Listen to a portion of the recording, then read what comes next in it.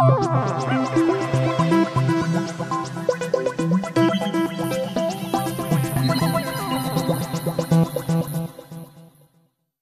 Hi, willkommen. Äh, ich darf euch heute was über Beton erzählen und vor allem, weil äh, äh, was dieser Satz da drunter soll, warum da Hightech steht und 2300 Jahre alt. Und äh, das ist bei Beton tatsächlich relativ spannend. Man wird jetzt meinen, das ist einfach nur ein Stein und da sind so ein paar Sachen drin. Äh, und äh, man weiß relativ gut, wie das funktioniert und das, das hat man alles mittlerweile raus und ist überhaupt nicht mehr spannend. Dem ist halt überhaupt nicht so. Da steckt äh, vieles von den Prozessen, die darin vorgehen im Beton, äh, hat man noch überhaupt nicht verstanden. Da ist ganz, ganz viel aktive Forschung dran. Das ist ein super spannendes Thema. Und ähm, Genau, das äh, versuche ich euch jetzt mal so ein bisschen aufzuzeigen. Und ich wollte noch so viel mehr in diesen Vortrag packen, aber ich habe nur eine Stunde Zeit und ich will euch auch nicht irgendwie überfordern, weil ich glaube, äh, wir haben in der, an, der, an der Hochschule haben wir da mehrere Semester dafür Zeit, diesen Stoff aufzuarbeiten und äh, das ist dann vielleicht auch irgendwann einfach ein bisschen zu viel für so einen Vortrag. Ähm, vielleicht kurz zu mir. Ähm, Ihr kennt mich vielleicht eher von den Vorträgen zu irgendwie Sounddesign und Ableton und äh, Gitarrenbau und äh, wie man Kaffee mit Lachgas herstellt. Ähm äh, warum erzähle ich heute was über Beton und äh, was qualifiziert mich überhaupt dazu? Äh, ja, ich studiere das tatsächlich. Also ich studiere Bauingenieurwesen und äh, musste das natürlich im Rahmen des Studiums lernen. Und ich habe jetzt äh, mache gerade meinen Master und habe vor kurzem äh, den theoretischen Teil für einen E-Schein bestanden. Äh, der E-Schein ist eine Bescheinigung, die man braucht, wenn man etwas komplexere, anspruchsvollere Bauwerke mit Beton planen möchte. Also äh, zum Beispiel alles, was massige Bauteile sind, da muss man ein bisschen mehr Engineering-Know-how reinstecken und dafür braucht man diesen E-Schein, damit man das überhaupt machen darf. Massige Bauteile fangen so bei 50 bis 60 Zentimeter Durchmesser an. Kann man sich vorstellen, da kommt man relativ schnell hin. Es ist vielleicht nicht mehr im Einfamilienhaus so, aber bei Ingenieurbauwerken äh, passiert das sehr, sehr schnell. Ähm, genau, um den E-Schein zu kriegen, muss ich jetzt noch irgendwie fünf Jahre Praxis nachweisen und dann darf ich genau diese Sachen halt auch tatsächlich planen. Und in dem Rahmen habe ich mich halt sehr viel damit beschäftigt und ich dachte, ich versuche jetzt mal so ein bisschen davon äh, rüberzubringen und einfach so ein bisschen dafür zu sensibilisieren, dass da tatsächlich äh, ziemlich viel vorgeht und ziemlich viel Forschung passiert und dass das eigentlich ein sehr, sehr spannender Fachbereich ist, ähm, weil keine Ahnung, ich habe darüber so ein bisschen getwittert und äh, dann meinten die Leute irgendwie mal so, ja, da packst du halt ein bisschen Zement, ein bisschen Wasser, Kies und Sand rein ne? und wenn es nicht hält, dann muss man noch einmal reinpinkeln und dann funktioniert das alles. Und das ist vielleicht okay, wenn du irgendwie die, äh, das Fundament für, deine, äh, für deinen Carport gießt, ja, dann kann das immer noch funktionieren, aber wenn du irgendwie Hängebrücken baust oder Hochhäuser in Frankfurt, äh, nein, dann macht man das alles ein bisschen anders. Ähm, ist auch ein brisantes Thema, weil ähm, die Zementindustrie äh, produziert 6 bis 9 Prozent aller CO2-Emissionen, die menschgemacht sind. Äh, das sind 2,8 Millionen, Millionen Tonnen pro Jahr. Das äh, ist äh, nicht besonders nachhaltig. das Problem ist aber, dass es auch noch keine Alternativen gibt, weil das tatsächlich einfach immer noch der beste Werkstoff ist, den wir haben. Es gibt ganz viel Forschung in Alternativen, ähm, aber die performen halt alle nicht so gut und die funktionieren alle nicht so gut. Und deswegen ist es vielleicht auch ganz wichtig, sich damit zu beschäftigen, um zu verstehen, wie Beton funktioniert um Alternativen zu finden, die nicht so viel CO2 produzieren in dem Prozess der Herstellung. Äh, war das da vorne eine Frage?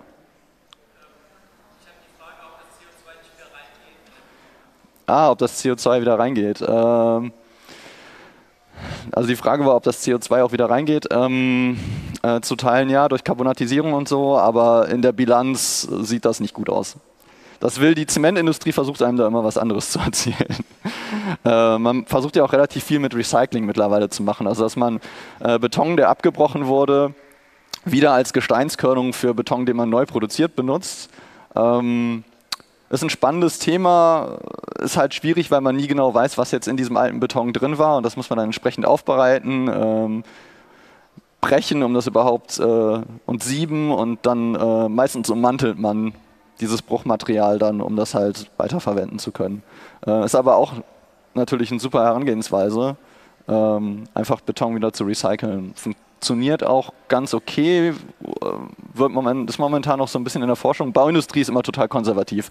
Also wenn irgendjemand eine super Idee hat, dann dauert das meistens so 10 bis 20 Jahre, bis das dann tatsächlich mal umgesetzt wird, ähm, effektiv, weil jeder hat, weil, naja, Bauwerke sollen irgendwie 50 bis 100 Jahre halten und jeder hat halt natürlich irgendwie Angst, das zu gewährleisten dass die Bauwerke tatsächlich so lange halten, wenn man die ganzen, äh, wenn man das noch nicht kennt, was man da eingesetzt hat und noch keine Langzeiterfahrungen hat. Und dann dauert das immer eine Weile, bis das mal jemand umsetzt und bis man dann eben da das Selbstbewusstsein hat, daran weiterzuarbeiten. Ähm, trotzdem habe ich aber noch so ein bisschen äh, Historie drin, weil ich irgendwie auch geschrieben habe, 2300 Jahre alt, woher kommt diese Zahl? Ähm, so dass, dass die ersten Vorkommnisse, die so in die Richtung gingen, war bei den Pyramiden.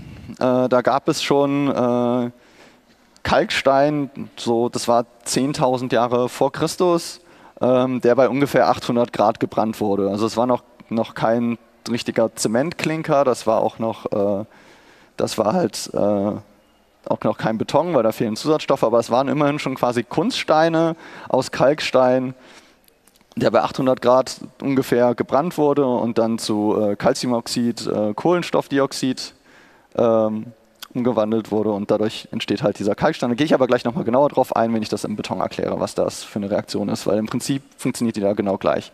Wir brennen da nur auf höheren Temperaturen. Und ähm, ja, das kennen wahrscheinlich irgendwie die meisten, das, das Pantheon, was so 128 nach Christus äh, fertiggestellt wurde. Ähm, und das war auch so der Höhepunkt des Opus Cementitium bei den Römern 300 vor Christus. Da kommt auch die Zahl her, weil das war so das, das erste, wo man wirklich sagen kann, da wurde, das kann man als Zement bezeichnen. Es kommt relativ nah an das dran, was wir auch heute kennen. Hat sich natürlich sehr weiter, sehr viel weiterentwickelt, aber das ist so diese historische Landmarke. Ähm, und Jetzt kann man sich natürlich fragen, äh, warum äh, hält das Ding immer noch und warum äh, haben wir so viele Probleme mit modernen Betonbauwerken? Naja, ähm, Beton ist gut bei Druck, richtig gut bei Druck und eigentlich auch nur bei Druck. Und ähm, von der Geometrie her, das ist eine Kuppel und durch diese Kuppelgeometrie ist das Gebäude genau dort, wo sich eh so ein Druckbogen ausbildet. Das heißt, das Gebäude trägt durch die Geometrie einfach nur über Druck das kann der Beton gut, das heißt, da ist gar kein Stahl drin und dadurch kann das Ding einfach so lange halten, weil über die Zeit wird Beton einfach nur härter. Der härtet immer, immer weiter nach. Und von daher stehen diese Gebäude auch noch. Ähm, das ist vielleicht auch noch ganz interessant, 1759, das ist Eddystone Lighthouse. Ähm, da wurden dann auch mal äh, so ein bisschen weitergehende wissenschaftliche Untersuchungen gemacht und da hat man dann so langsam, da kommen wir jetzt wirklich so zu dem, zu dem wirklich modernen Zement. Ja, da wurde, wurde sich mal angeguckt, äh, wie verhalten sich eigentlich die Aluminate im Zementstein. Ähm, wie viel, also wie viel Wärme entsteht da, was spielt die Wärme da für eine Rolle? Es ist eine exotherme Reaktion, die Hydratation, wenn der Zement aushärtet. Und ähm, da hat man sich das einfach mal genauer angeguckt und auch schon über Erstarrungsregelungen nachgedacht, Etringitbildung, gehe ich gleich nochmal im Detail drauf ein. Ähm, aber da wurde sehr, sehr viel dran geforscht und da wurde auch schon, äh, wurde der Zement dann auch schon, ähm, der Kalkstein auch schon über 1500 Grad gebrannt. Und da sind wir dann auch, also dann kommen wir schon sehr nah an, an moderne Sachen, äh, an modernen Beton, an modernen Zement. Und ähm, das ist vielleicht noch ganz interessant. Äh, die Spannbetonbrücke von Eugene Fregenet, 1946, 55 Meter Spannweite. Ähm, da was man bei Spannbeton macht, ist, man legt Stahl ein und spannt den vor, um die Zugspannungen, die in dem Querschnitt entstehen würden, zu überdrücken. Und dann beansprucht man den Beton wieder nur auf Druck, wo er halt besonders gut ist. Und äh, ja, das ist vielleicht auch nochmal so, so ein Punkt, der ganz interessant ist. Also Spannbeton ist, äh, wird äh, heute auch immer noch sehr, sehr viel gemacht, weil man eben dadurch die äh, positiven Eigenschaften von Beton ausnutzen kann. Ähm, sieht man hier auch nochmal ganz schön in diesem Diagramm. Ja? Also das ist so ein zweiaxialer Druckversuch. Und also hier die zwei Achsen Druck. Und man sieht halt schön, Druck nach hier unten hin ist der Beton ziemlich gut, Zug nach hier oben nicht so wirklich. Es sind ungefähr 10% der äh, Druckfestigkeit, die der Beton in Zugfestigkeit aufnehmen kann. Ähm, wenn, wir so, wenn wir rechnen, also wir setzen selten die Zugfähigkeit bei Berechnungen von Beton an, eigentlich fast nie das, äh, ja, das lohnt sich nicht. Wir gehen immer davon aus, dass wenn da Zug drin ist, dass der Beton direkt aufreißt. Also Mikrorisse und Rissverteilung auch nochmal so ein Thema für sich, aber wir gehen einfach davon aus, der Beton kann gar keinen Zug aufnehmen, weil die Spannungen so groß sein werden, dass sie die auf jeden Fall überschreiten. Und äh, deswegen legen wir in die Querschnitte unten Stahl ein, dort wo der Zug entstehen würde. Ne? Hier ist ein Moment drauf, hier oben ist Druck, hier unten ist Zug und dann geht eben die Zugkraft in den Stahl und hier oben bildet sich so eine Druckzone aus im Beton. Und dann habe ich zwei Baustoffe miteinander kombiniert und die wirken beide in den Bereichen, wo sie besonders gut sind. Stahl im Zug und Beton im Druck. Und äh, das ist auch so ein bisschen die Krux, warum Bauwerke, äh, moderne Bauwerke nicht mehr so lange halten. Denn äh, Stahl hat zwei Feinde, Chlorid und Luftfeuchte. Ähm, Chlorid tritt immer dann auf, wenn ich äh, irgendwie, irgendwas rauscht hier, Ah, okay, danke. äh, Chlorid tritt immer dann auf, wenn ich irgendwie Chlorid in den Beton eintrage und der zum Stahl kommt. Dann korrodiert der Stahl, also er verrostet quasi. Ähm, äh, dafür muss ich die natürlich erstmal eintragen. Äh, deswegen ganz großes Problem Tausalze oder Schwimmbäder. Muss man eben ganz genau darauf achten. Da hat man eben diese Einwirkungen. Äh, und der zweite Feind ist halt eben die äh, Carbonatisierung.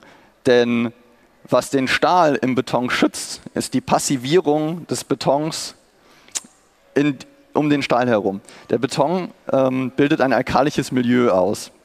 Das heißt, äh, wir haben da ungefähr einen pH-Wert von 12,5 und ähm, solange dieser pH-Wert stabil ist und solange das so bleibt, passiert dem Stahl nichts. Das ist alles sicher.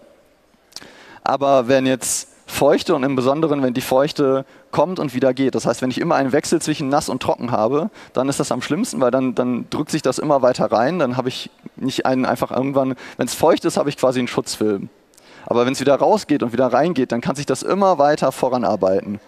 Und äh, was dann passiert, ist, dass durch einfach den CO2 in der Luft und der Feuchtigkeit ähm, äh, eben genau hier äh, der Kalkstein sich wandelt, äh, Kalkstein entsteht im Zement, was für den Beton super ist, weil der Kalkstein, der dabei entsteht, der ist super hart, der hat eine viel höhere Festigkeit, der Beton nimmt zu, aber das äh, an Festigkeit zu, der, der trägt dadurch einfach nur noch mehr. Das Problem ist aber, dass der pH-Wert dadurch sinkt.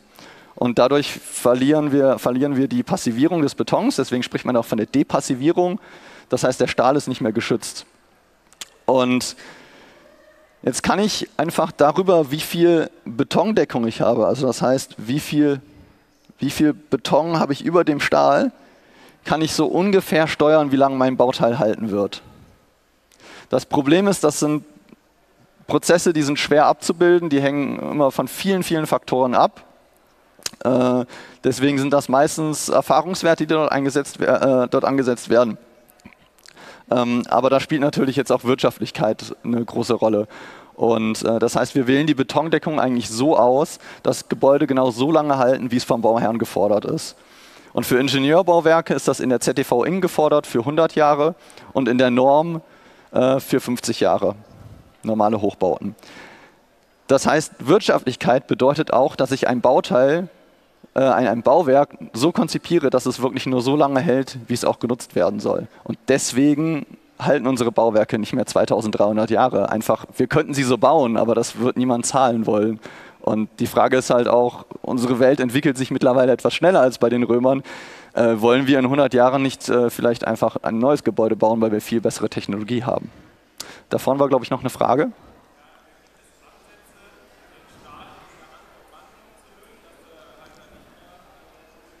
Also die Frage war, ob es Ansätze gibt, den Stahl zu ummanteln, damit er nicht mehr korrodieren kann. Äh, ja, gibt es, ist alles zu teuer. äh, also es gibt auch, äh, es gibt auch Bewährungsstäbe, die, also du kannst auch Edelstahl einbauen. äh, wird auch an manchen Stellen dann so als Detaillösung gemacht, ist halt auch schweineteuer und du hast dann das Problem, dass du Edelstahl am Baustahl anschließen musst und auf der Baustelle darfst du eigentlich nicht schweißen und Edelstahl, äh, verschiedene Stähle miteinander verschweißen, ist alles schwierig. Ähm, was man zum Beispiel in der Karlsruher U-Bahn gemacht hat, äh, man hat ähm, Plastik, also man hat tatsächlich Plastikbewährung benommen. Das lag aber hauptsächlich daran, äh, dass die Tunnelbohrmaschine da durchbrechen musste und die mit Stahl nicht so gut klarkam und durch das Plastik, äh, was etwas spröder ist, kommt sie halt relativ gut durch. ist aber auch das Problem, dass es einfach zu teuer ist. Also wenn ihr irgendwie euch den, den Porsche oder den Ferrari unter den Häusern kaufen wollt, macht das. Das Ding hält dann halt quasi ewig, aber äh, ist halt einfach zu teuer, deswegen macht man das meistens nicht. Ähm, so, reden wir doch mal darüber, was in so einem Beton eigentlich drin ist. Ja? Also früher war Beton quasi ein, ein Dreistoffgemisch. Moderner Beton ist meistens ein Sechsstoffgemisch. Und selbst daran merkt man schon, dass sich da echt viel getan hat, dass sich das sehr, sehr weit entwickelt hat. Einfach daran, wie viel Chemie wir da mittlerweile reinbringen, wie wir anfangen, diesen Werkstoff zu steuern. Ja, also wir haben natürlich Zement, Wasser und Gesteinskörnung. Das ist eben Zement, Wasser und der Kies und der Sand, was man, was man so äh, kennt. Ähm, und dann gibt es noch Zusatzstoffe und Zusatzmittel. Ähm, die Unterscheidung ist hauptsächlich, dass äh, Zusatzstoffe äh, hydraulisch reagieren, die brauchen Wasser und die tragen auch meistens was zur Festigkeit bei. Und Zusatzmittel sind meistens äh, chemische Mittel, die verschiedene Sachen im Beton regeln.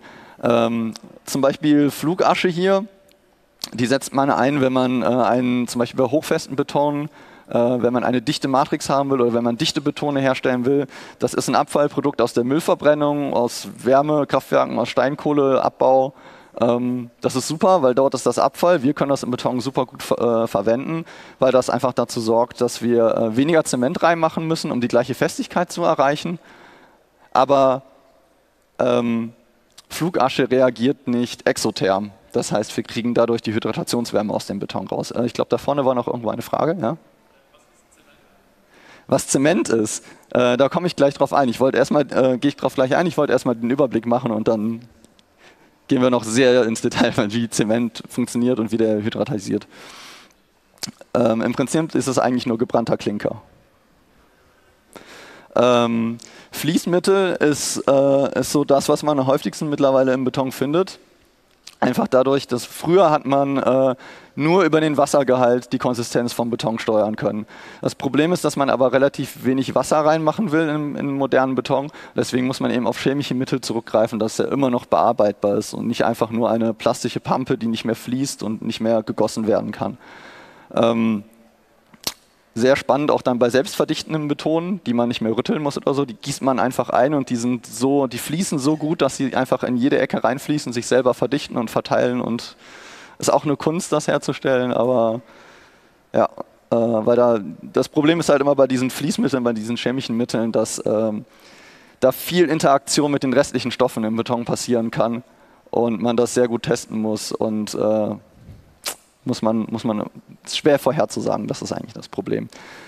Äh, Luftporenbildner wird auch sehr gerne eingesetzt, ähm, zum Beispiel für Leichtbeton, einfach damit man Luft reinbekommt, damit, das, damit die Dichte runtergeht oder auch um den Dämmwert zu erhöhen, äh, weil Beton hat eine relativ hohe Dichte von ungefähr 2,5 so um den Dreh und wenn man jetzt natürlich große Luftporen reinmacht, dann hat man Luft mit einer viel, viel geringeren Dichte und dadurch dämmt es natürlich wesentlich besser. Äh, das Problem ist nur, äh, für 1% Luftporen verliert man ungefähr 7 bis 10% Festigkeit. Das ist echt viel. Und das ist auch ein Problem. Also da muss man sich drüber bewusst sein. Und wir werden nachher einen Beton entwerfen, der hat Luftporenbildner drin. Und dann werden wir sehen, wie wir das hinbekommen, das wieder zu kompensieren. Aber äh, da muss man echt drauf achten.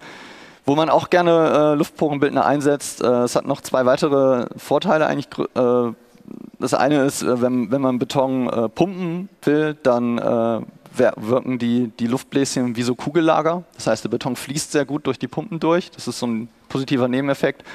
Ähm, und um kapillares Saugen zu unterbrechen. Wenn man äh, Beton hat, der äh, Frost ausgesetzt ist, das Problem ist, äh, die Kapillarporen sind sehr, sehr, sehr fein und die fangen irgendwann an, Feuchtigkeit aufzusaugen und in den Beton zu transportieren. Und wenn das dann gefriert und die sich ausbreiten, dann sprengen die den Beton aus, auf. Wenn ich jetzt Luftporen da drin habe, dann fangen erstmal unterbrechen die Luftporen das kapillare Saugen, weil die viel größer sind. Und zum Zweiten äh, füllen die sich meistens nicht komplett oder zumindest habe ich wesentlich mehr Volumen im Beton, das ich ausfüllen kann. Und wenn es dann gefriert, dann äh, füllen sich erstmal diese Luftporen auf. Und so kann ich äh, Beton machen, der auch unter Frost noch sehr gut funktioniert. So, Zement. Wer von euch hat schon mal Zement im äh, Baumarkt gekauft? Oh, relativ viele sogar. Sehr cool. Das war bestimmt so ein Drittel gerade, das die Hand gehoben hat. Äh, da stand wahrscheinlich irgendwie sowas in dieser Richtung drauf. Wem ist denn bewusst, was all diese Buchstaben und Zahlen zu bedeuten haben? Okay, da ging gerade keine Hand mehr hoch. Dann ist es gut, dass wir jetzt darüber reden. Das bedeuten die nämlich. Das erste ist die Zementart. Da zeige ich gleich noch eine Tabelle.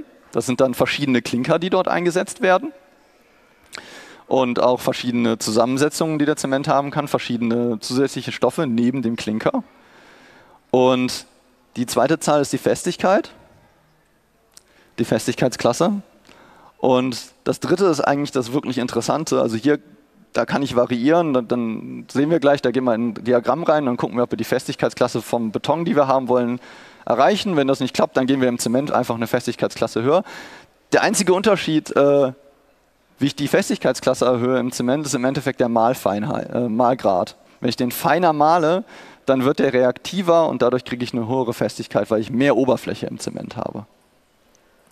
Äh, Geschwindigkeit funktioniert ähnlich, die steuere ich aber meistens über den Aluminatanteil. Ähm, die Krux an der Sache bei der Geschwindigkeit ist, ich will mein, Bauteil, äh, mein Bauwerk natürlich möglichst früh fertig haben. Das heißt, ich möchte, dass der Beton möglichst schnell seine Frühfestigkeit äh, erreicht, damit ich ihn ausschalen kann und weiterbauen.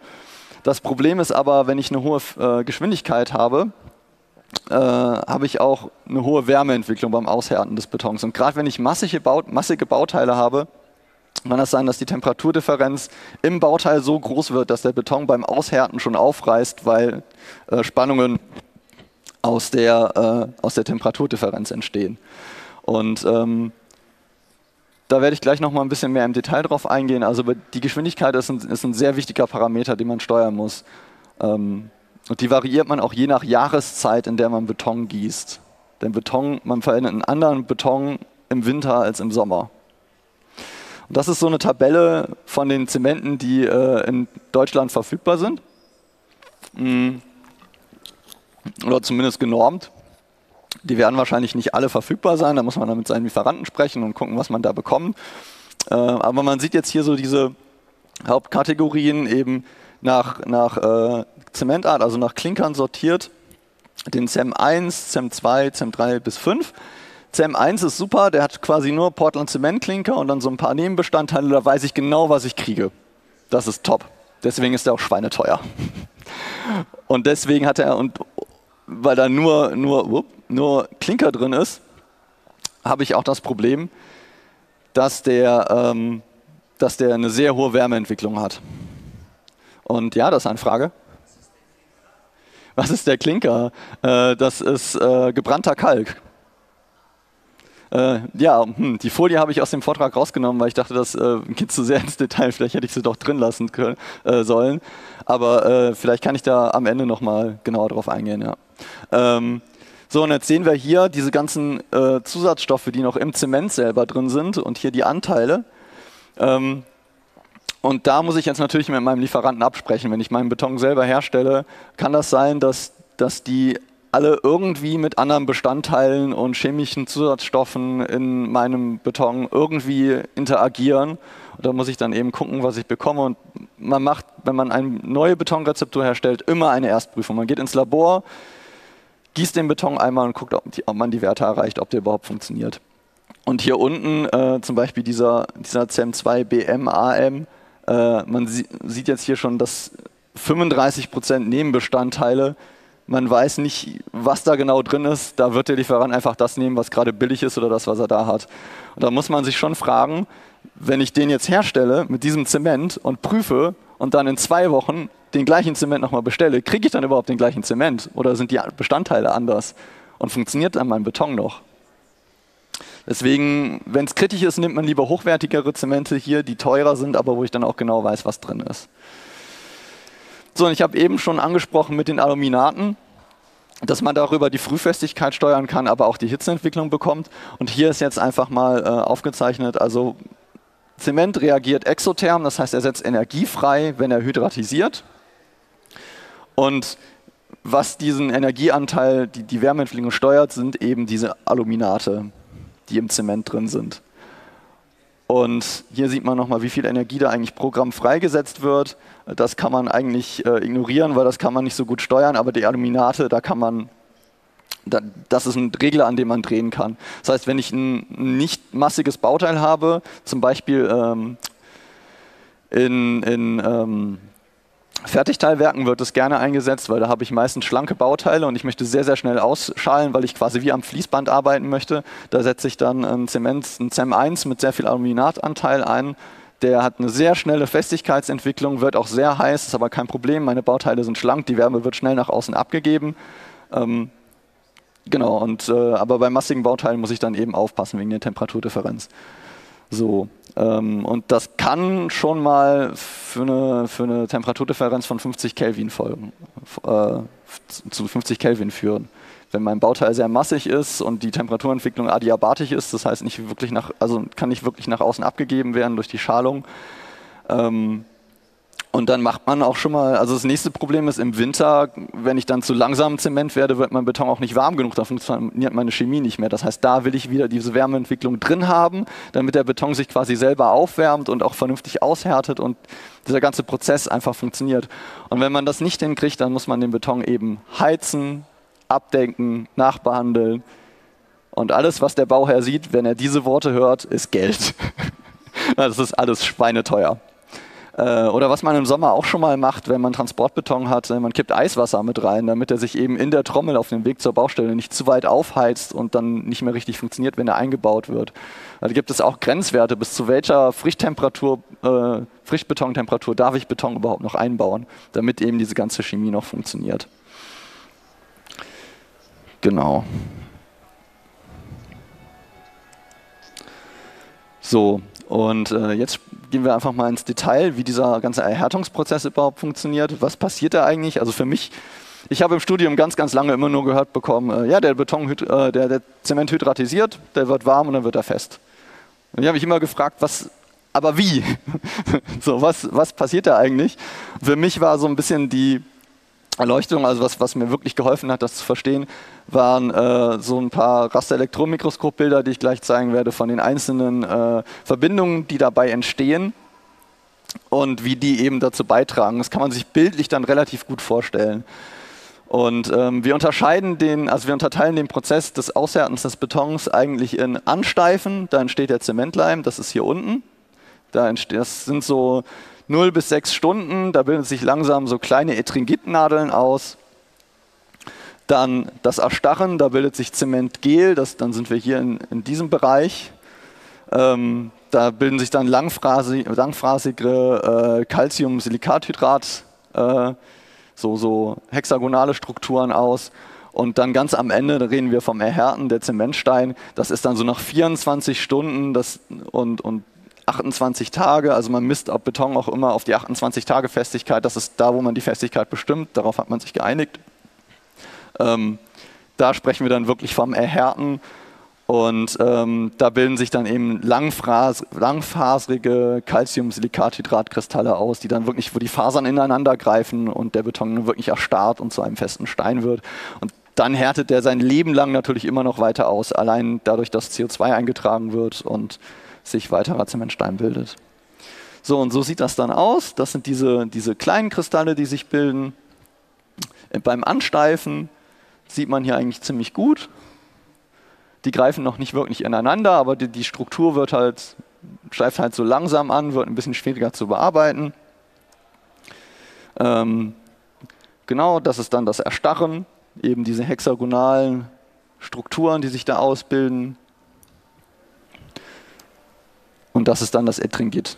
Diese langen Nadeln beim Aushärten, die wirklich ineinander greifen und dieses ganze Gefüge stabilisieren. So, jetzt haben wir den Zement. Äh, braucht natürlich Wasser, weil ohne Wasser funktioniert das Ganze nicht. Und äh, jetzt die, können wir uns die Frage stellen, wie viel Wasser auf wie viel Zement müssen wir denn in Beton überhaupt reinpacken? Und äh, da gibt es eben diese schönen Walzdiagramme, heißen die. Ja, wir finden wir hier wieder die Festigkeit und die Geschwindigkeit wieder, wobei das hier sich hauptsächlich auf die Festigkeit bezieht von dem Zement, den wir verwenden. Und dann sehen wir halt hier eben die Korrelation zwischen Endfestigkeit, die wir erreichen wollen, Zement und Wasserzementwert, den wir brauchen, um diese Festigkeit zu erreichen. Und äh, wenn wir Flugasche reinnehmen, dann müssen wir noch die Flugasche anrechnen, weil die zieht uns halt Wasser raus. Ne? Dieser Faktor 0,4 Prozent heißt, wir 40 Prozent der Flugasche, Masse an Flugasche, die wir reintun, packen wir noch Wasser dazu, weil die Flugasche eben auch Wasser bindet und das, die, das Wasser würde sonst im Zement fehlen. Äh, bei Bohrfallbeton ist der Wert 0,7. Jemand vielleicht eine Idee, warum? Okay, äh, Bohrfallbeton hat die Eigenschaft, dadurch, dass es so eine Säule ist, wenn ich so einen Bohrfall äh, gieße.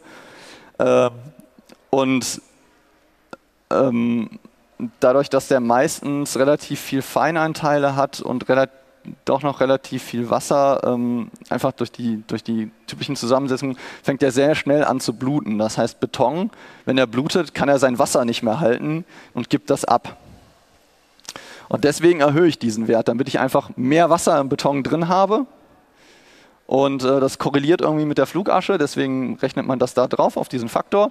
Und dann betoniere ich, betoniere ich Bohrfehler auch meistens immer ein bisschen höher. Gehe davon aus, der blutet eh aus. Oben habe ich Beton, der, ist, der erreicht die Festigkeit gar nicht, weil da ist viel zu viel Wasser da. Das, das ganze Gefüge funktioniert nicht mehr so richtig. Und trage das dann einfach oben den Teil, der kaputt ist, wieder ab und habe dann unten immer noch einen Beton, der relativ gut funktioniert. Genau, aber hier haben wir eben diese Korrelation quasi aus Erfahrungswerten zwischen Wasserzement. Und hier sieht man auch schon, ne, also wir landen hier relativ schnell, wenn wir so bei üblichen Betonen gucken, bei Wasserzementwerten bei 0,5, 0,55, 0,4. Sowas hätte man früher gar nicht verwenden können, weil der, der fließt nicht mehr wirklich richtig. Der ist super schwer zu verarbeiten, da brauchen wir wirklich Fließmittel. Also früher sahen diese Kurven auch alle ein bisschen anders aus. Das ist alles empirisch und die ermittelt man dann äh, im Labor und guckt dann eben, wie funktioniert momentan überhaupt Beton und was, sind, äh, was wird da eingesetzt. Und ähm, so, Wasserzementwert. Ähm, es gibt einen idealen Wasserzementwert, der ist 0,4. Das liegt einfach daran, ähm, bei 0,4 habe ich genauso viel Wasser drin, wie der Zement braucht zum Hydratisieren. Das heißt, wenn die Hydratation, Hydratation, abgeschlossen ist, ist mein kompletter Zement äh, hydratisiert und ich habe nur noch Kapillarporen und Zementgel. Ich habe keine, keinen nicht hydratisierten Zement mehr drin und keine, keinen großen Anteil an Kapillarporen. Wenn ich mehr Wasser reinpacke, in diese Richtung hier geht, dann bekomme ich Kapillarporen, weil Wasser übrig bleibt, irgendwann wieder verdunstet und da bleibt dann eben Porenraum zurück. Und das ist dann problematisch, weil die Kapillarporen ziehen halt eben Feuchtigkeit von außen an und dann sind wir wieder beim Frostschutz und so weiter. Äh, ich kann natürlich auch in die andere Richtung gehen, dann wird der äh, Beton schwerer zu verarbeiten. Aber wie wir sehen, haben wir hier dann nicht hydratisierten äh, Zement, was einerseits gut ist, weil Zement hat eine hohe Festigkeit, andererseits gut, weil wenn dann nochmal Wasser reinkommt, dann hydratisiert der nach. Das heißt, ich habe da, wenn ich sehr, sehr dichten Beton herstellen möchte, dann gehe ich meistens in Richtung niedrigere Wasser-Zement-Werte muss dann aber den Preis zahlen, indem ich Fließmittel einsetze, damit man den überhaupt noch bearbeiten kann. So, also nochmal zusammengefasst, Zement und Wasser, wir wählen die Zementart aus, wir wählen die Festigkeit aus, wir wählen die Geschwindigkeit aus, je nachdem, ähm, was für eine Wärmeentwicklung wir haben wollen oder wir tolerieren können. Das hängt dann von, unserem, von unserer Bauteilgeometrie ab. Damit steuern wir die Hydratationswärme. Mit dem Wasser-Zementwert steuern wir die Dichtigkeit und die Festigkeitsentwicklung. Da hatten wir dieses Diagramm, dass wir diese Korrelation herstellen können. Das brauchen wir nachher für den Entwurf. Genau, und das steuert auch die Dichtigkeit. Ähm, nächster Punkt ist Gesteinskörnung. Gesteinskörnung ist eigentlich äh, ist relativ kurz. Äh, das basiert auf diesem Sphere Packing. Also die Idee ist, wir haben einfach Kugeln, wir legen die zusammen, wir haben dann Räume, die übrig bleiben. Das heißt, wir legen die nächst kleineren Kugeln rein, dass dieser Raum genau ausgefüllt wird. Funktioniert in der Theorie super, klasse Mathematik, macht Spaß. Äh, hat jemand schon mal genau runde Steine in der Natur gesehen? nee. Ähm, Deswegen gibt es einfach normative Anforderungen an Gesteinskörnungen, dass die nur in ihrer Geometrie bis zum gewissen Grad abweichen dürfen, damit äh, dieses Modell einfach immer noch funktioniert. Und äh, genau, das sorgt halt auch dafür, dass es halt noch gut verarbeitbar ist. Ähm, und halt auch, dass es eine gute Stabilität liefert nachher. Also, da, ne, also wenn sich das alles schön genau so dicht packt, dann funktioniert die Kraftübertragung im Beton, alles liegt schön dicht, der Zement ist nur noch dazwischen als Kleber und dann ist alles super. Und das funktioniert auch relativ gut. Und dann können wir das eben steuern, wir können das quantitisieren durch solche Sieblinien. Hier sind jetzt mal so ein paar Sachen aus der Natur, die man findet, aufgezeichnet. Also wir haben halt hier verschiedene Siebe und hier tragen wir den Durchgang auf. Da hat man dann einfach so eine Siebsäule, rüttelt das, guckt, wie viel bleibt wo liegen und äh, danach stellt man das wieder zusammen und dann kann man eben so eine Sieblinie erzeugen. Ja. Da gibt es meistens A, B, C. Die ist dann noch definiert durch das Größtkorn. Komme ich gleich noch zu. Und A, B und C haben einfach unterschiedliche Feinanteile zu unterschiedlichen Grobanteilen. Und so definiert man dann einfach seine Sieblinie und seine Gesteinskörnung. Äh, Größtkorn definieren wir hauptsächlich deswegen. Das äh, ist ein Wert, den mir meistens der, der mir den Starterkerl liefern muss, weil äh, wie soll ich da noch Beton reinkriegen? Da kann ich eigentlich nur noch Wasser und Zement reingießen, aber Gesteinskörnung kommt da nicht mehr durch. Und hier wird es dann auch schon schwer. Da muss man sich auch irgendwann überlegen, funktioniert das überhaupt noch als Stahlbeton? Habe ich da noch eine komplette Ummantelung von Beton, vom Stahl und eine Kraftübertragung zwischen den beiden Baustoffen? Ähm, aber der, äh, der Tragwerksplaner, der Statiker muss mir dann nachher sagen, wie dicht liegen seine Bewährungseisen und äh, wie groß ist das größte Korn, was da noch durchpasst, was ich einsetzen darf in meiner Sieblinie. Und da muss ich dann eben darüber, über diesen Parameter das steuern. Und dann kann ich natürlich auch noch verschiedene Gesteinskörnungen verwenden. Also so ein äh, schön weich gewaschener äh, Reinkies funktioniert natürlich anders als so ein schönes äh, Bruchmaterial, was irgendwie ein Flint ist oder so. Das hat natürlich eine viel andere, viel bessere Verzahnung in der Betonmatrix nachher. Äh, da kann man auch ein bisschen Engineering betreiben. Also so eine Gesteinskörnung liefert meistens einen äh, deutlich dichteren Beton, einfach weil die Verzahnung besser funktioniert, eine bessere Kraftübertragung, weniger Rissentwicklung. Äh, und die Lagerung ist auch sehr wichtig. Äh, da gibt es auch Normen, weil äh, wenn ich jetzt, wenn die Bäume zu nah hier drankommen, dann fallen irgendwann die Blätter in diesen Haufen rein, dann habe ich auf einmal biologisches Material in meiner Gesteinskörnung und dann ist die nicht mehr raumbeständig, weil biologisches Material zersetzt sich und dann fällt mein Beton quasi in sich zusammen, einfach weil da eine Volumenänderung stattfindet. Apropos Volumenänderung, äh, wer möchte raten, was für ein äh, Versagensmechanismus da, Mechanismus das war? Jemand eine Idee? Hm? Gefrieren? Ähm, nein, und genau das ist das Problem, weil gefrieren hätte ich jetzt auch gesagt, wenn mir jemand das Bild so zeigt, wird wahrscheinlich fast jeder erstmal sagen, das ist ein Frostschaden, ganz klar. Das Problem ist, das ist kein Frostschaden. Und bis vor so ungefähr 30 Jahren wusste man auch noch gar nicht, dass das gar kein Frostschaden ist, weil man diesen Versagensmechanismus noch nicht kannte. Das ist eine Alkali-Kieselsäure-Reaktion gewesen.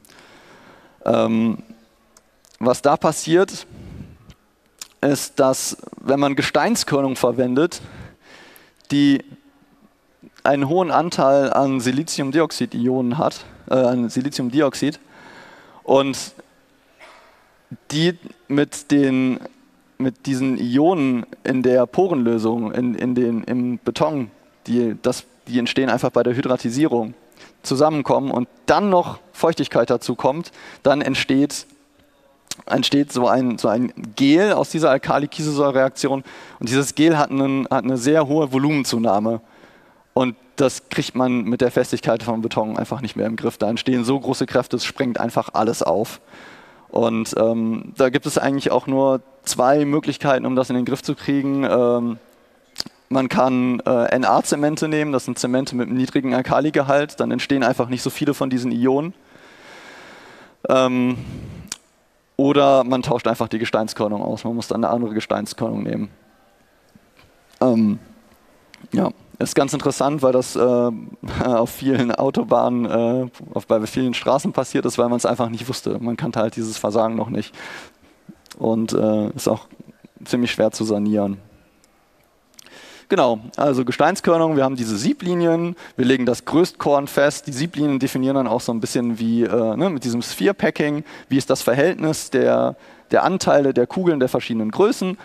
Das Größtkorn sagt mir der Statiker, was ich da verwenden darf. Die Raumbeständigkeit ist wichtig, keine, keine organischen Materialien will ich da drin haben. Und äh, AKR muss ich auch beachten. Das heißt, ich muss einfach gucken, wo kommt meine Gesteinskörnung her, könnte die problematisch sein.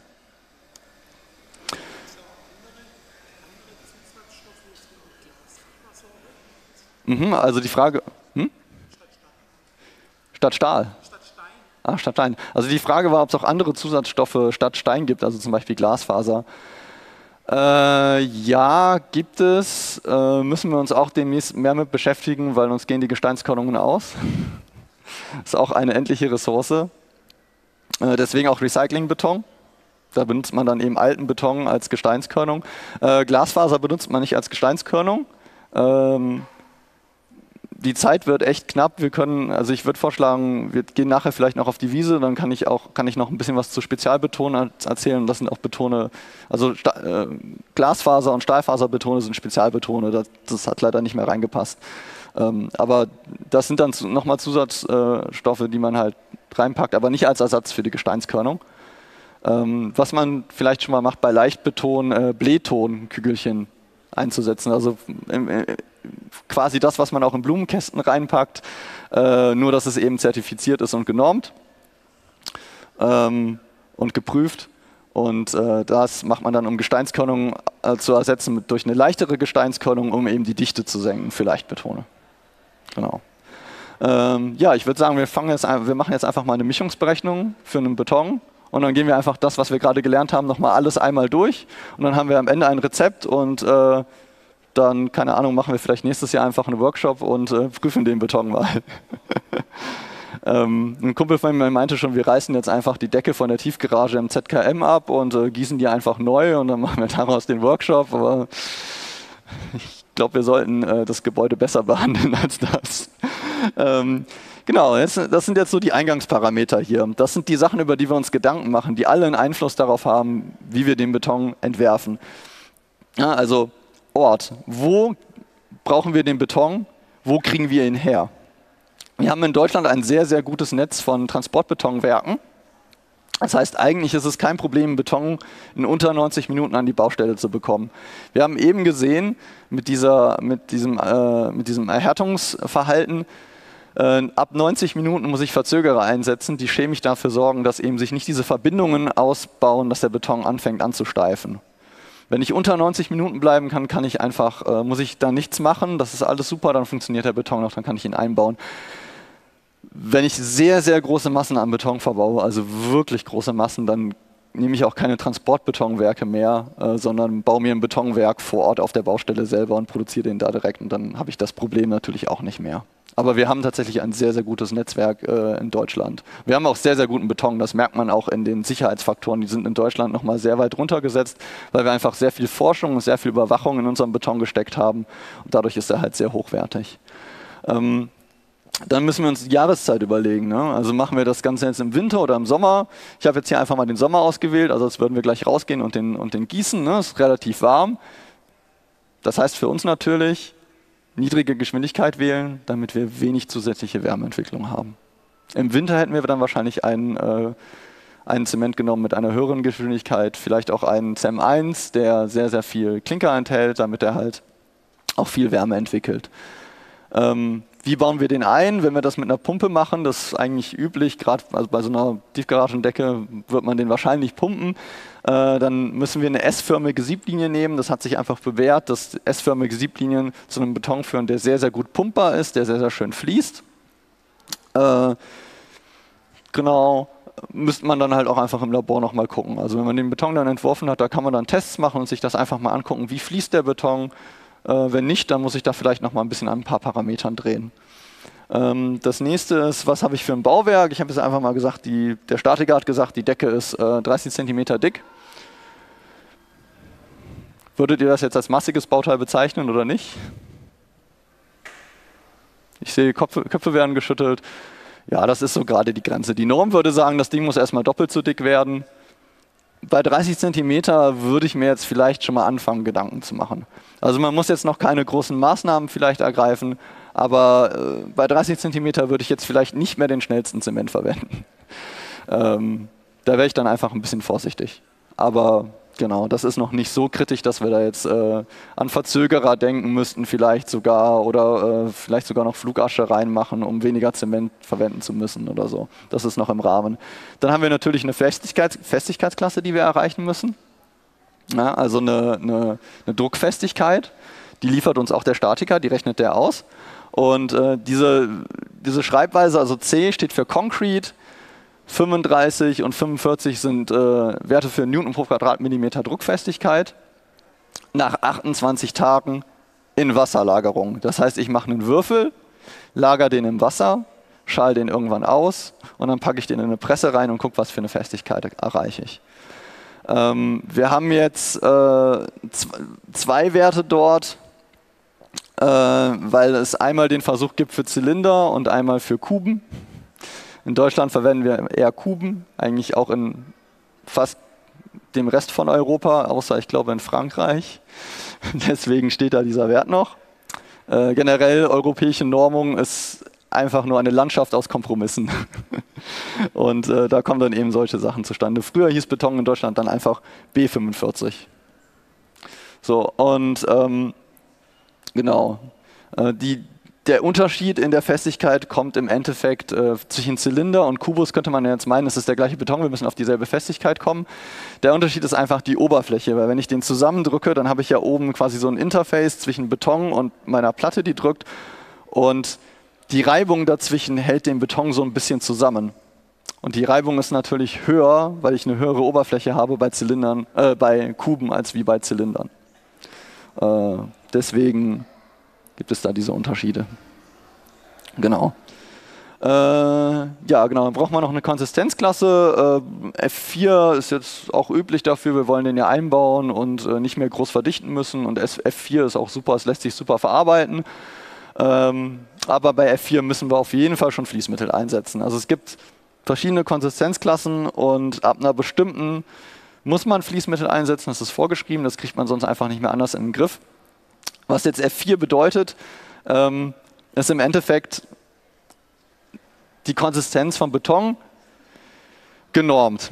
Normung hat meistens, also in, in dem Fall hat es nichts mit äh, äh, einfach nur damit zu tun, dass ich einen standardisierten Prozess habe, mit dem ich das messen kann, damit ich vergleichbare Ergebnisse erzeuge. Was man da macht, ist, man hat so eine Platte mit einem, mit einem Scharnier und hier hinten ist so ein Winkel, dass man die nur bis zum gewissen Punkt hochziehen kann. Und dann gießt man einfach in einem genormten Behälter Beton ein, lässt den kurz stehen, zieht den hoch und dann zieht man ein paar Mal an dieser Platte, lässt die runterfallen und dann misst man, wie weit sich der Beton ausgebreitet hat. Und dadurch, wenn man das immer alles gleich macht, hat man natürlich vergleichbare Werte. Und anhand dieses Ausbreitungsmaßes äh, teilt man das dann in solche Klassen ein. Äh, ich habe die gerade nicht im Kopf, ich könnte nachgucken, aber es, äh, ne, es geht einfach nur um Vergleichbarkeit, das ist eigentlich, eigentlich egal. F4 ist halt, ist halt eigentlich sehr gut verarbeitbar. Das, äh, genau. So, und jetzt ist der Punkt, wo wir über Expositionsklassen reden müssen. Das, ich habe versucht, das ohne hinzukriegen, aber ich das, das würde nicht so gut funktionieren und es ist auch eigentlich vielleicht eine ganz gute Idee, da mal drüber zu sprechen, weil wir dann auch so ein bisschen ein Gefühl dafür bekommen, wie so ein Entwurf funktioniert und wie Beton sich auch so ein bisschen entwickelt hat. Ähm, so eine Expositionsklasse ist ein, eine Normung dafür, was für Einwirkungen mein Beton ausgesetzt ist. Und eigentlich ist das ein total super System. Es ist am Anfang vielleicht ein bisschen viel, aber wenn man ein paar Mal damit gearbeitet hat, ist das, ist das eigentlich ziemlich super. Man hat einfach Tabellen, wo Einwirkungen drin stehen, verschiedene. Dann kann ich gucken, äh, kann ich mir halt überlegen, muss man sich manchmal auch ingenieursmäßig Gedanken machen, was da überhaupt sinnvoll ist anzusetzen. Und dann bekomme ich solche Klassen, wie zum Beispiel XF für Exposition Class, Freeze, Frost, Frostangriff. Und jetzt gibt es hier, ich glaube, 1 bis 4 oder 1 bis 5 Klassen. Wir landen hier relativ hoch, ähm, weil, was haben wir? Wir haben eine Tiefgarage, da fahren Autos rein, die bringen Tauwasser mit. Da klebt Eis dran und das Schlimmste ist, da ist auch noch Taumittel mit drin. Taumittel ist sowieso immer ganz aggressiv, das wollen wir eigentlich alles gar nicht haben, das ist, das ist super fies. Ähm, das heißt, der Beton wird wahrscheinlich eine hohe Wassersättigung erfahren und äh, deswegen müssen wir den gegen Frostangriffe eben schützen, damit eben sowas nicht passiert, dass, der, dass das Wasser einbrennt, es äh, eindringt, es gefriert und sprengt den Beton auf. Das heißt jetzt, wir landen in dieser Klasse und nachher finden wir in einer anderen Tabelle dann Anforderungen, die wir erfüllen müssen, um diese Klasse zu erfüllen. Das heißt, irgendwann hat man sich einfach mal Gedanken gemacht und gesagt, hey, wir haben da Versagensmechanismen, die treten immer wieder auf. Manchmal haben wir die in den Griff bekommen. Wie haben wir das denn geschafft? Was ist der Mechanismus dahinter? Lass uns das mal in so ein System packen und dass man halt schön abarbeiten kann. Also eigentlich eine super Sache. Und bei unserer Tiefgaragendecke haben wir natürlich auch noch das Problem, durch diese Taumittel äh, tragen wir natürlich auch Chloride mit in den Beton ein. Das heißt, wir landen hier bei XD3. Äh, auch wieder das Schlechteste, weil die wird natürlich wahrscheinlich irgendwann mal wieder trocknen und dann wieder feucht und wieder trocknen und wieder feucht. Das ist natürlich ein Problem. Äh, XM, das sind mechanische Beanspruchungen, äh, die sind äh, bei Autoreifen nicht ganz so schlimm. Also es ist einfach nur ein bisschen Verschleiß. Da geht es dann hauptsächlich über, die, über den Haftzug, über die Oberflächeneigenschaften von Beton, dass da halt eben kein Abrieb stattfindet und der halt oben stabil bleibt, oben drauf. Und XC4, Korrosion, da geht es eben wieder um die Carbonatisierung. Ne? Das hatten wir ja eben, diese beiden Feinde des Stahls. Also hier geht es jetzt darum, den Stahl in dem Stahlbeton zu schützen, bei diesen beiden Klassen. Und da haben wir auch wieder das Fieseste, was man sich vorstellen kann, wechselnd nass und trocken. Das heißt, wir müssen jetzt richtig arbeiten, wir müssen unsere Beton, äh, wir, müssen, wir müssen ein paar Werte anpassen, um das zu erreichen.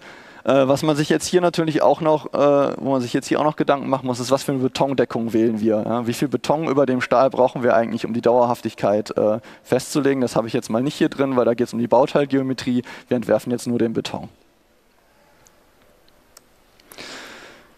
So, das heißt hier nochmal unsere Expositionsklassen. Und jetzt fangen wir einfach mal an, mit der Mischungsberechnung. Als erstes sucht man sich eigentlich immer eine Sieblinie raus. Ja?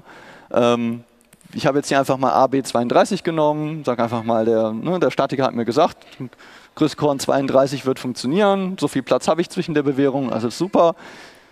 Hier, ein, hier die verschiedenen Korngruppen, 0 bis 2 mm, 2 bis 8, 8 bis 16, 16 bis 32 und dann hier eben die Anteile daraus, dass das eben so eine schöne S-förmige Kurve ergibt. Und wir landen jetzt hier zwischen, die sind jetzt hier anders nummeriert, aber das ist A und das ist B und wir landen jetzt genau dazwischen. Und wenn ich das jetzt so einem, so einem, so einem Lieferant, äh, Lieferanten schicke, dann kann er mir genau diese Gesteinskörnung auch zusammenstellen und liefern. Das funktioniert. So, Grenzwerte. Jetzt sind wir wieder bei den Expositionsklassen und die liefern uns jetzt verschiedene Grenzwerte. Ja. Um diese Anforderungen einzufüllen, an die Dauer, äh, zu erfüllen, an die Dauerhaftigkeit, bekommen wir einen maximalen Wasserzementwert, eine minimale Festigkeit, die wir erreichen müssen, einen minimalen Zementwert und vielleicht noch zusätzliche Anforderungen. Ähm, bei den dreien, jemand eine Idee, worauf, die sich, worauf alle drei sich auswirken, was da die Idee dahinter ist? Es ist alles Dichtigkeit. Im Endeffekt es ist hauptsächlich Dichtigkeit, was man damit erreichen will. Höhere Festigkeitsklasse führt dazu, dass sich andere Parameter wieder ändern, die den Beton dichter machen. Also im, im Endeffekt versucht man, in, also ich meine, beim Wasserzementwert ist es relativ klar, was der macht. Ne? Also wenn ich einen geringeren Wasserzementwert habe, dann wird mein Beton natürlich dichter, weil ich weniger Kapillarporen habe. Und das sehen wir jetzt auch. Wenn wir uns jetzt angucken, ähm, aus welchen Expositionsklassen da welche Anforderungen kommen. Klar, der Chlorideintrag liefert uns den Grenzwert für den Wasserzementwert. Ansonsten hätte es wahrscheinlich hier, äh, ja, der ist gar nicht so hoch für, für Korrosion. Da wird dann eher die Betondeckung äh, der ausschlaggebende Faktor. Äh, ah ja, hier bei XF dann auch. Da äh, bei dem Frostschutz, ne? weil äh, wir einfach einen dichten Beton wollen, dass das Wasser nicht so, nicht so gut eindringen kann und, und uns den aufsprengt äh, Festigkeit, aber das ist jetzt für uns gar nicht so problematisch, weil die Festigkeitsklasse hat uns eh der Statiker gewählt. Wenn das jetzt problematisch werden würde, dann müssten wir eine Festigkeitsklasse höher gehen. Einfach allein, um die Dichtigkeit zu erreichen, um die Dauerhaftigkeit des Betons gewährleisten zu können. Dann bekommen wir eine Anforderung daran, wie viel Zement wir minimal einbauen müssen. Und für Frostschutz, wir haben eben darüber gesprochen, Kapillar, äh, kapillares Saugen zu unterbrechen, wir kriegen die Anforderung, dass wir 5% äh, Poren, äh, Porenvolumen, also Luft, äh, Luftporen herstellen müssen. Das heißt, äh, 5% das kriegen wir nur noch mit Luftporenbildner hin. Das heißt, wir müssen nachher darauf achten, dass wir Luftporenbildner einbauen. Ah, auf was sich das Min-Z bezieht. Ähm, okay, das ist, das ist gut, dass du das fragst, weil für mich ist das völlig klar. Ähm, äh, nee, das bezieht sich immer auf einen Kubikmeter. Also generell so eine Berechnung macht man immer bezogen auf einen Kubikmeter, auch diese, diese Porenvolumen.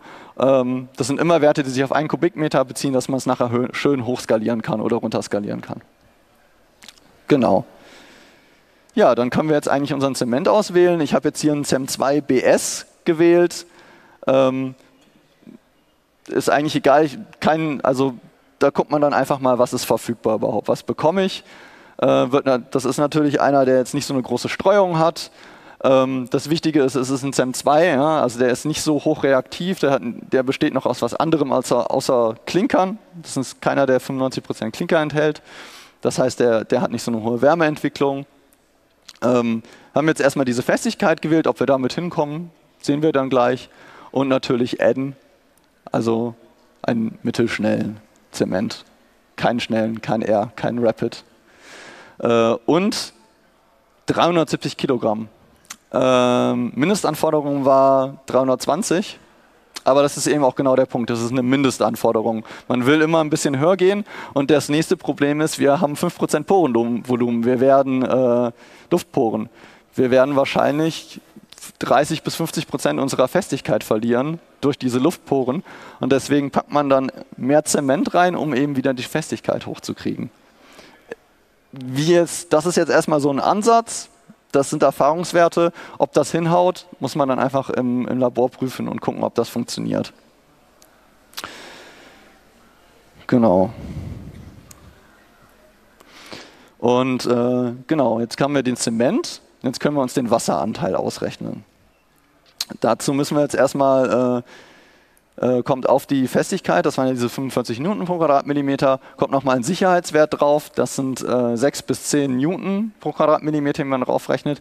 Ich habe jetzt hier 6 genommen, weil, wie gesagt, in Deutschland haben wir sehr, sehr gute Betonindustrie, wir haben einen sehr, sehr guten Beton. Wir können da ruhig den niedrigsten Wert nehmen, denn wir wollen auch keine Überfestigkeiten erzeugen. Das bringt dann wieder andere Probleme mit sich, deswegen gehen wir da schön weit runter.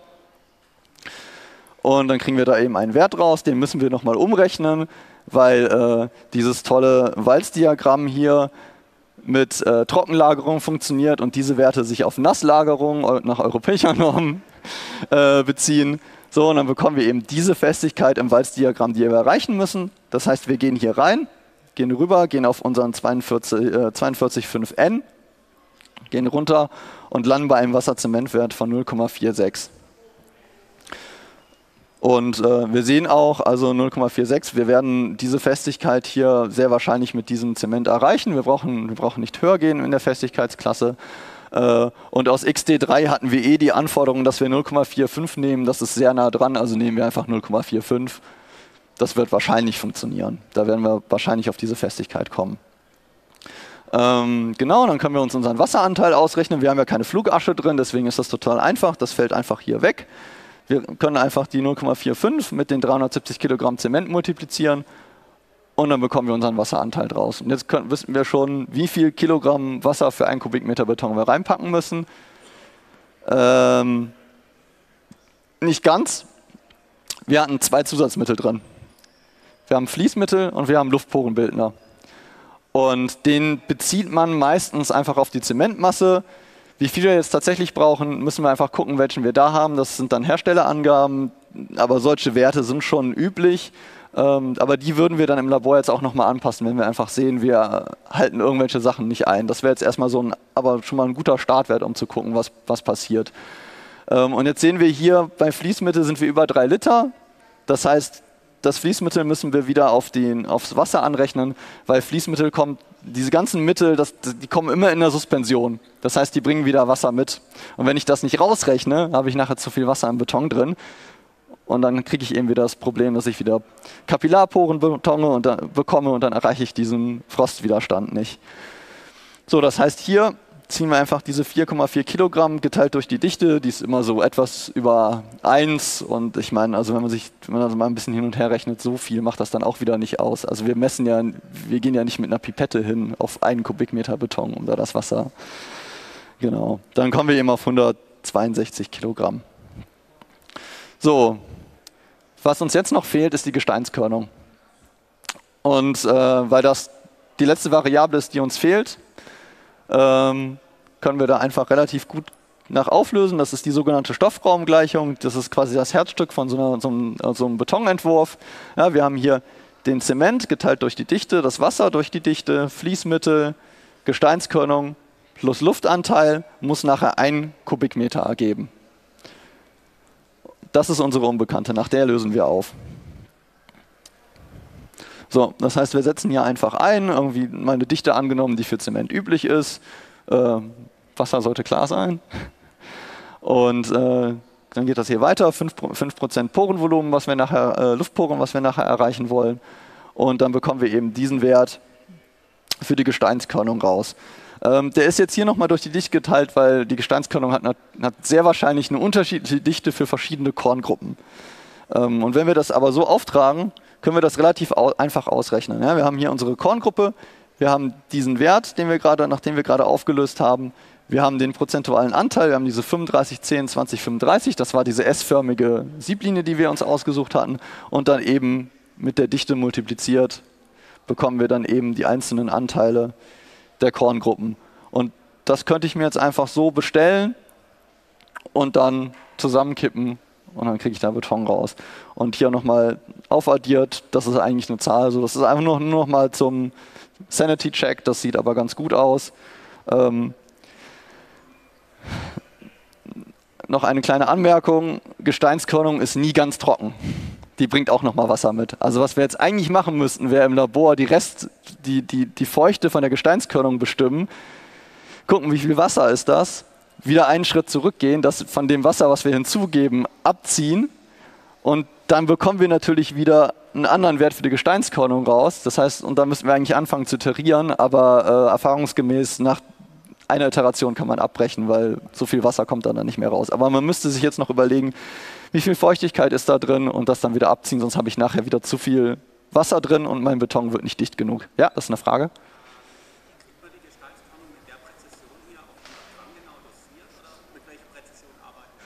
Die Frage war, mit was für einer Präzision da gearbeitet wird und warum ich da diese Kommawerte hingeschrieben habe. ähm, äh, mit was für einer Präzision die da arbeiten, hängt ganz von dem Werk ab.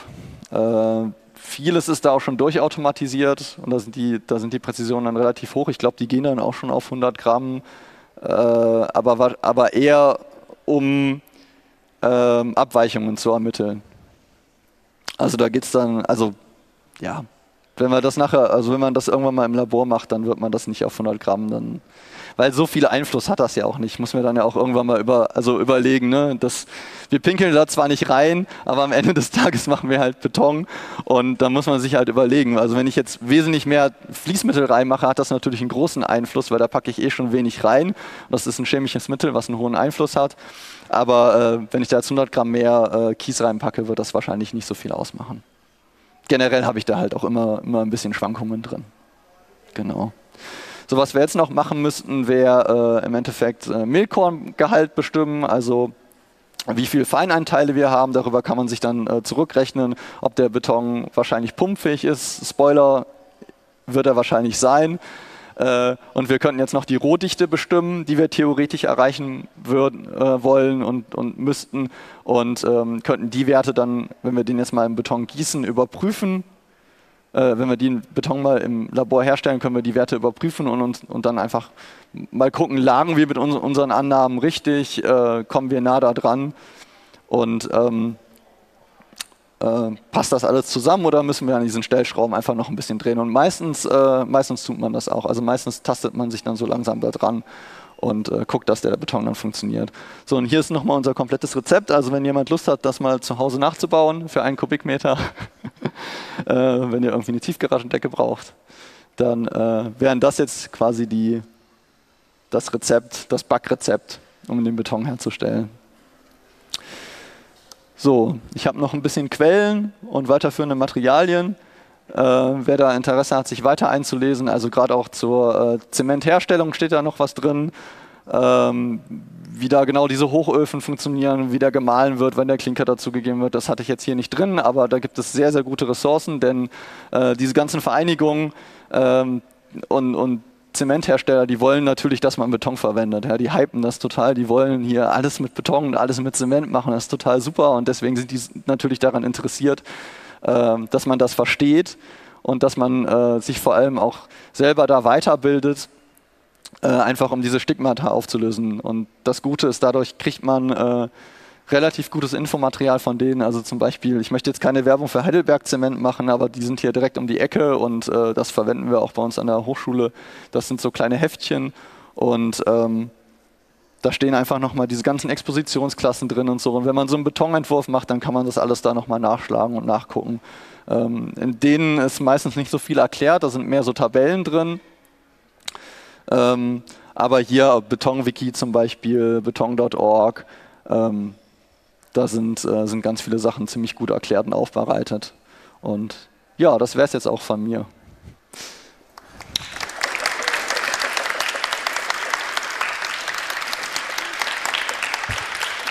Ja, vielen Dank.